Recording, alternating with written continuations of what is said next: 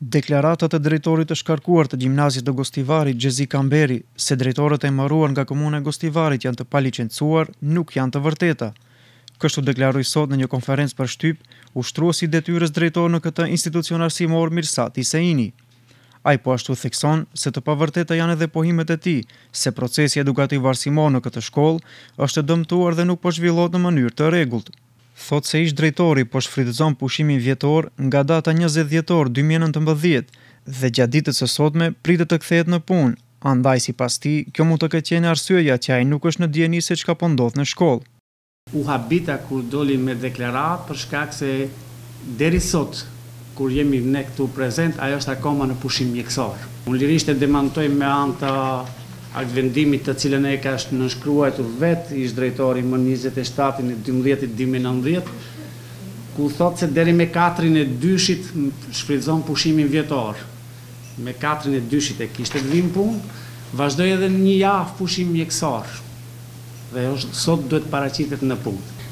Çështja tjetër që tha ish drejtori që nuk duhet të merrem me atë mirëpo patjetër e kam ta demantoj për shkak se janë të emëruar drejtorë që nuk kanë licenca edhe këtë ua dëshmoj se unë licencën e kam të marrë nga dikë që ashtu por te për atij i cili nuk e ka nuk e ka Kryetari i komunës ose çështja e arsimit, sektori për çështjen e arsimit shpesh herë kanë bë kërkesa në Inspektoratin e Arsimit Lokal për verifikimin e dokumentacionit a i plotëson kushtet, nuk e ka gjuhën angleze, ndërsa unë e kam edhe gjuhën angleze.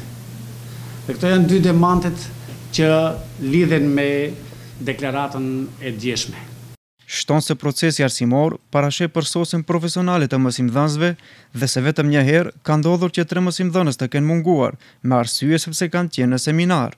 Procesi arsimor, përveç ardhjes në punë, ndjekjes së mësimit, parasheh edhe përsosjen e kuadrit arsimor. Dhe ka ndodh një ditë ditë e enjte që tre mësimdhënës i kemi pas në seminar. Mund t'ua them edhe me emra mbiemra, mund të vërtetoni edhe në te sekretaria poshtë dhe te shërbimi pedagogjik se janë të evidentuar që kanë qenë në seminar. Janë dy profesoresha të biznesit dhe një profesor i kimisë. Dhe ato e kanë patjetër të arsyeshme kur shkojnë ndjekin seminare për shkak se përsosen profesionalisht atë që ne kemi nevojë. Dhe kur ndodh një ditë që mos jenë ato tre profesorë, Patjetër orët do të zëvendësohen. Dhe po, mirëpo, të thuash se nuk mbahet mësim është fyerje ndaj kolegëve. Unë nuk mund ta them atë. Për shkak se unë maksimalisht jam i kënaqur nga kolegët e mi. E nga ana tjetër, kësaj konference për shtyp iu bashkangjitë dhe profesori i lëndës së kimisë në këtë shkollë, Elbash Abazi. Ai tha se ish-drejtori Xhezmi Kamberi nuk e ka thënë të vërtetën kur deklaroi se ai ka respektuar ligjet. Nga viti dy mijë e trembëdhjetë, kur ai ka ardhur si drejtor në këtë shkollë, ai dhe tre kolegët e tij, që të gjithë me vendime, dy herë janë larguar nga puna dhe janë kthyer me vendim gjykate. E gjithë kjo, siç thekson ai, për shkaqe politike. Për pasojë, shkolla është e dëmtuar për më shumë se njëqind mijë euro, para këto, që mund të investoheshin për plotësimin e nevojave të shkollës. Në vitin dy mijë e trembëdhjetë, ish-drejtori u emërua pa konkurs, duke ardhur nga jashtë, që është joligjore, një. E dyta, ish-drejtori në vitin dy mijë e trembëdhjetë mua dhe tre kolegëve të mi na largoi me vendim pune nga puna në vitin dy mijë e trembëdhjetë. Mirëpo, në atë kohë, ish-drejtori ishte ushtrues detyre, dhe këtë e vërteton dokumentacioni. U kthyem në vitin dy mijë e pesëmbëdhjetë me gjyq.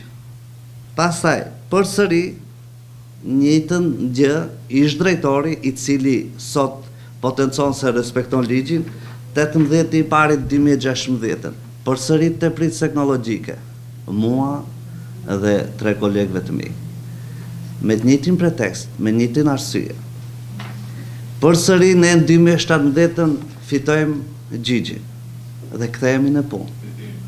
Po ashtu edhe nga Gjyqi Suprem ne kemi vendim edhe të Gjyqit Suprem ku pretendonte ish-drejtori se ka të drejtë. Edhe në Gjyqin Suprem e humbi lëndën. Kështu që, u bëjmë me dije gjithë qytetarëve të Republikës së Maqedonisë, i drejtohem Ministrit të Arsimit dhe Kryeministrit të vendit, që të hapin sytë dhe të shohin cilët i mbrojnë, cilët persona janë duke i mbrojtur, se ato persona duan t'i kthejnë në vendin e punës si drejtorë, kur ato absolutisht nuk kanë të bëjnë me respektimin e ligjit të Republikës së Maqedonisë së Veriut. Kujtojmë se gjatë ditës së djeshme, drejtorët e shkarkuar të shkollave fillore dhe të mesme të komunës së Gostivarit, me anë të një konference për shtyp, akuzuan kryetarin e komunës se i ka shkarkuar në mënyrë joligjore. Ata kërkuan nga Taravari që të respektojë vendimin e Inspektoratit Shtetëror të Arsimit dhe atë të Komisionit Shtetëror për Vendimmarrje në Procedurë Administrative dhe Marrëdhënieve të Punës në Shkallë të Dytë dhe t'i kthejë drejtorët e shkarkuar në vendet e tyre të punës.